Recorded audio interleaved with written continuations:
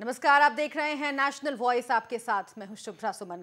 एक बड़ी खबर आ रही है। दुर्घटना की खबर है। दिल्ली पानीपत हाईवे पर दर्दनाक हादसा हुआ है। सड़क हादसे में चार खिलाड़ियों की मौत हो गई है।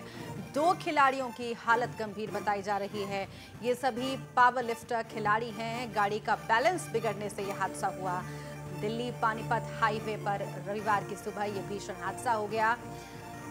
सड़क दुर्घटना में चार खिलाड़ियों की मौत हो गई है। दो दूसरे खिलाड़ी गंभीर रूप से घायल बताए जा रहे हैं। ये सभी खिलाड़ी पावर लिफ्टर हैं और इनमें से एक वर्ल्ड चैंपियन भी रह चुका है।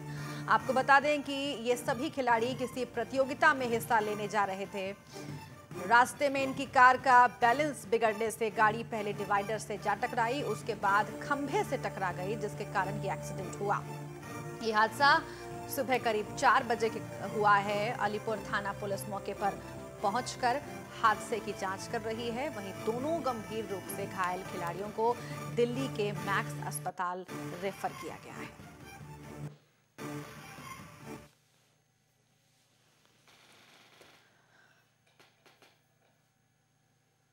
तो ये तस्वीरें हम आपको दिखा रहे हैं।